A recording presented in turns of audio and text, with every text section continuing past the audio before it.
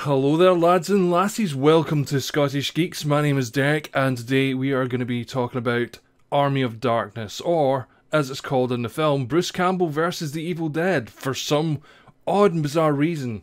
And I'd just like to thank DoublePlugga 79 for suggesting this movie to me. And if you guys want to suggest a movie for me to check out, please do so in the comments section below. Don't suggest loads and loads, just suggest one you really want me to see me review. Um, these reviews will be changing as um, more are done, etc. Because I'm not entirely sure what my limitations are, but I'm having a chat with someone at the moment who's going to help me out with that. So I'm going to be able to find out if I can use images or scenes from movies and things without getting into too much trouble. Anyway, on with the review. Okay, so basically, the first time I ever saw Army of Darkness was when I was a teenager, and it was actually the first of uh, the Raimi trilogy that I'd actually seen. I hadn't seen The Evil Dead or The Evil Dead 2 Dead by Dawn. Um, so Army of Darkness was literally the first of the Evil Dead movies I'd ever seen. And when I first saw it, I thought it was hilarious. It was amazingly fun and cool.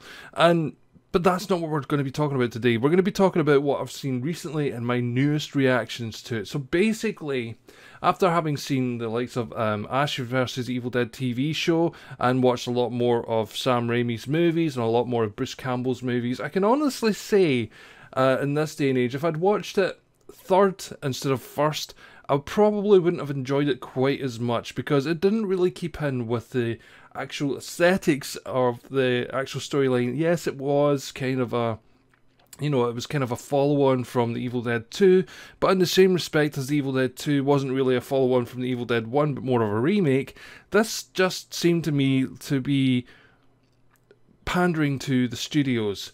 However, that's not to say it's not a good movie. The film in itself is actually pretty damn well done. It has a lot of amazing um, storylines, plot twists, effects, etc. It's basically what you would call something like comedy horror. And comedy horror was a big thing in the 80s, but when this film came out in the mid 90s, comedy horror wasn't really a huge thing, so possibly that is why it didn't quite do as well as maybe some of the other films that were coming out right about that time, because mostly it was slasher flicks, etc. But in saying that, Army of Darkness still has a special place right here, guys, right here, in my left lung. It really does. yeah. Anyway, so basic premise of the movie is Ash has gone back in time. Ash had defeated the massive evil um, of the second movie, or had he? You know, this is Ash. He likes to say stuff, and travels back in time to medieval times. Yes, not the restaurant. No, actual medieval times where he, for some reason, meets up with a bunch of English people. So instead of just travelling through time, he also appeared to have travelled through space as well, unless, of course, for some reason, the entirety of history had completely been rewritten. But it's a film. We're not gonna, you know, we're not gonna dwell on things like that. Hey, alternate dimension. Okay, we'll call it an alternate dimension. So anyway, so Ash falls down, and um, it has changed basically from the Evil Dead Two, where he shoots a deadite and they all shout "Hail, hail, hail!" No, no, no. He just falls down this time. He gets captured and for some reason suddenly enslaved while they try to kill his car. Nobody questioning his strange clothes, mannerisms, or the fact he has just fallen from the sky. No, no, he must be part of Henry the Red, um, his his uh, his crew. So anyway, so they take him back to the castle, still utterly confused about what the hell is going on, uh, narrating, and um, they basically chuck him into this thing called the pit. Now the pit has a couple of uh, captured deadites in it, and um, we go to our first, basically most funny action sequence of the entire film, where a couple of Deadites try to kill Ash. Ash has to punch the hell out of them, but instead the Deadites end up punching the hell out of him until the wizard appears and gives him his chainsaw arm back, basically his sword in that day and age. So there we go. There's Ash cutting up stuff and eventually gets out, and all of a sudden he has the respect of the entire kingdom. Nobody thinks, yeah, this guy just killed a couple of Deadites he's either going to be someone very good or he's going to be very, very angry. You know that we tried to kill him. Let's let's maybe shoot him full of arrows. No, no, no, that's not how it works. Because he's got a boomstick. He's magic, according to the simpler medieval times folk. So on we go. We move on. He starts to get all this information from the wise men and makes friends with people and becomes very, very friendly with a princess. Do you know, I don't actually know what she's a princess of, you know, or if she's maybe just, I don't know, like a, a villager who just happens to have nicer clothes than anyone. It's never really explained. But anyway, so um, they've come up with a plan to get him to go and destroy the evil. Uh, the wise man gives him the magical words, which gives us our first pop culture reference in the entire thing of uh, Klaatu Barada, or is it Klaatu Barata? I can never remember. Nikto, which is basically the words from The Day the Earth Stood Still. Of course, Ash being Ash goes, takes the book across, and starts the first of the many, many memes about Bruce Campbell's chin. Uh, because one of the books sucks his chin into it. He recites the words basically, maybe doesn't say every single tiny little syllable, and releases the army of darkness into the world. The army of darkness. Oh, before that happened, sorry, I completely forgot about this. Or was it after? I can't remember. I think it was before. Ash gets hit by the evil. Instead of turning into evil Ash, he starts to grow another Ash out of his arm. Um, well, his shoulder, and this other Ash and him have a fight, etc. Um, there was an awesome line that actually happened during that where um, Evil Ash. It's different. The weird thing is, it's different depending on which country you watch it in. I've, the one I watched today, there was an awesome line in it. The one I watched many years ago, the line wasn't there. Um, the line was, um, oh fuck, what was it? Basically, Evil Ash um, did this little dance, you goody little two shoes, you little goody two shoes, little goody two shoes, started punching him and stuff, and then eventually Ash got really annoyed with it, held the shotgun under the guy's nose and says, Good, bad, I'm the guy with the gun, bang, there we go. End of Evil Ash for the moment. Um, in the UK, it was just, uh, I eat that good. I don't understand why they changed it, but they did. That. Anyway, so after that, he releases the Army of Darkness, and Evil Ash somehow re- re- reconstitutes himself, resurrects, comes back, and becomes Uber Evil Ash. And so Ash heads back to the, the little castle town type thing and explains what's happened. Uh, wants to go home. He says, I did what you told me to do. Maybe didn't say every single little syllable. He says, you know, Klaatu Baraton. Yeah. Um, so basically, that happens, and of course, the army of darkness has came. They, they capture people. They take the princess and um, turn her into basically a deadite witch for some reason, who is now Evil Ash's main girlfriend, and um, all hell breaks loose. Um, with some pretty amazing Harryhausen style effects. It is really, really quite cool how it works. It's it doesn't stand the test of time, but Neither do Ray Harryhausen movies, and people still watch them. And I mean, it's fun watching skeletons run around and getting hit, especially they're completely random Scottish skeletons playing the bagpipes for no apparent reason. And then there's a singular German deadite um, who gets really scared and runs off saying, let's get the hell out of here. Uh, but of course, this is all amounting to Ash teaching these um, simple folks how to fight 20th century style, you know, with uh, martial arts and, well, one move basically. Uh, gunpowder! Gunpowder! Yes, we invent gunpowder, apparently. And, um, you know, because he's got books on chemistry and stuff in the back of his car, which tells you how to invent bombs. how the hell did that even happen? And of course, they turn the car into an armored thing, and they give Ash a brand new hand, which if you've seen the Ash versus the Evil Dead uh, TV show, you'll see is basically what he uses more than anything else. Um, so he's got a, a, robotic hand, and of course we get the groovy. I love that. Love when he says groovy. It's so awesome. Um, and they basically decimate the army of darkness. Well, a lot of them get killed as well.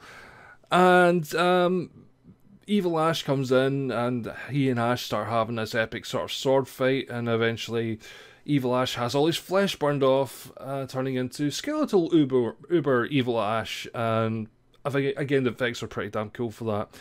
And uh, basically, spoiler alert! Not that the whole thing hasn't been a gigantic spoiler alert. Um, Evil Ash is catapulted off. He gets blown up by this makeshift sack bomb thing and for some reason, that is the end of it. That is how they defeat the Army of Darkness is by defeating Ash's evil side. So, I'll get to that in a minute. I'll get to that in a minute. So basically, this is where things get really confusing. Depending on what country you're in, is dependent on what ending you see.